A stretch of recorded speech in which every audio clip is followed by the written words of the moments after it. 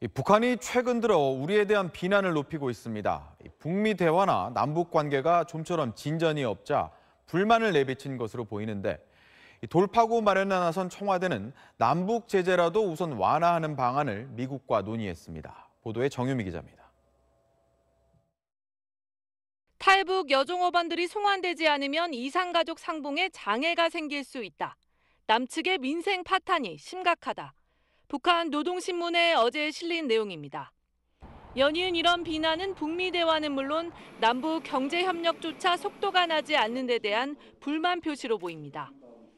청와대 고위 관계자는 북한 입장에선 실질적인 진전이 없어 불만이 있을 수 있지만 우리로선 제재에 발목이 잡혀 있고 이를 존중할 수밖에 없다고 말했습니다.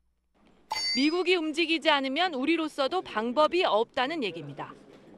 정용 안보실장이 볼턴 미 백악관 안보보좌관을 만나 한 얘기도 결국 북한의 불만을 설명하면서 미국의 태도 전환을 촉구하는데 초점이 맞춰진 걸로 알려졌습니다. 특히 남북 간 제재를 우선 완화하는 방안도 논의됐다고 청와대 관계자는 전했습니다. 북미 간의 비핵화 협상이 가급적 빠른 속도로 추진될 수 있도록 하기 위한 여러 가지 방안들에 대해서 어, 매우 유익한 어, 합의를 하고 돌아왔습니다. 북미 협상이 교착 상태에 빠졌다는 판단에 따라 청와대가 중재 역할을 다시 본격화하고 있습니다. SBS 정유미입니다.